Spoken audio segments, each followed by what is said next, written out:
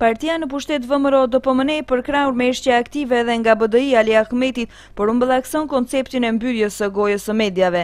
Kjo zaten është edhe kritikë e hapur adresuar pushtetarëve nga Eurokomisari për zgjerim Shtefan Fyle. Liria e fjalës dhe e medias përfundimisht e ka humbur kuptimin. Ata tashmë nuk i kemi prezent në Maqedoni, i takojnë së kaluarës së hidhur. Metoda të tilla mund të përdorë vetëm një pushtet i zhytur deri në fund në totalitarizëm dhe diktaturë dhe që për fat të keq ndihmohet edhe nga BDI. Shoqëria shqiptare në Maqedoni në përgjithësi, por edhe shtresa mediale, Për fat të keq as që është në hap me tregun medial maqedonas, por derisa në Maqedoni ekzistojnë diku dhjetë gazeta së fundmi, tregu medial u pasurua edhe me një gazetë të përditshme në gjuhën maqedonase, tek shqiptarët ndodh e kundërta. Ato vihen në situatë para mbylljes. Rikujtojmë lexuesit se dikur ekzistonin gazetat Flaka, Koha e Re, por edhe të tjera që mund të numërohen në gishta, e që lexuesit dhe shikuesit i kanë në dijeni, por që u mbyllën gjatë kësaj qeverisje.